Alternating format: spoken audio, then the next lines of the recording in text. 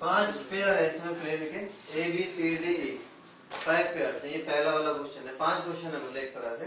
और ये कह रहा है पता लगाओ कि जो दो प्लेन की क्वेश्चन दी हुई है, ये पैरल है या परपेंडिकुलर अगर इन दोनों से कुछ भी नहीं है तो फिर एंगल क्या है? तीन बातें हो सकती है।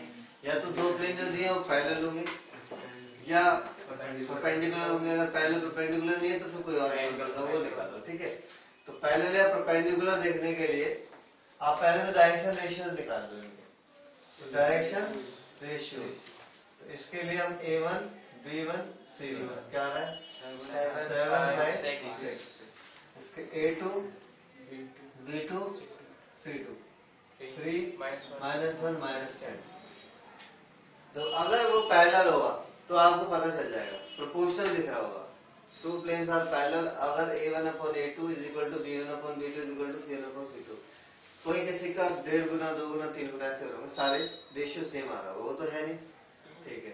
परपेंडिकुलर वाला है या एंगल वाला है तो उसके लिए ए वन ए टू तो निकालना ही पड़ेगा। तो ए वन ए टू निकाल लो। A one A two B one B two और सी वन सी टू अगर इसका रिज़ल्ट ज़ीरो आता है. प्रोपोर्शनल तो दिख जाएगा। ठीक है? पैरेलल हो जाएगा। प्रोपोर्शनल है नहीं। परपेंडिकुलर का चेक कर लो। A one A two B one B two C one C two का ज़ीरो आया तो परपेंडिकुलर भी नहीं फिर एंगल निकाल लेंगे। ठीक है? तो बोलो।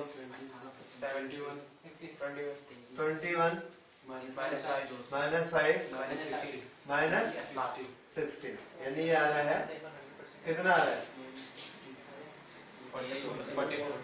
Forty four minus forty which is not equal to zero parallel भी नहीं है परपेंडिकुलर भी है इसलिए cos थीटा निकालना पड़ेगा cos थीटा का फॉर्मूला होता है A one A two B one B two C one C two upon Magnitude of A1. A one square B1 square. B one square C1 square. C one square A two square B two square.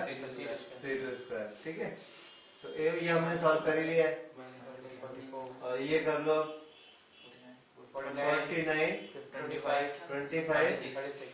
Thirty six इस वाले को करो nine plus one plus on नहीं करा अभी तक कराएगा ठीक है। तो माइनस फोर्टी फोर अपॉन ये कितना आ रहा है? एक सौ बीस एक सौ दस। ठीक है? वो भी एक सौ दस आ रहा है। वो भी एक सौ दस आ रहा है। तो ये आ जाएगा।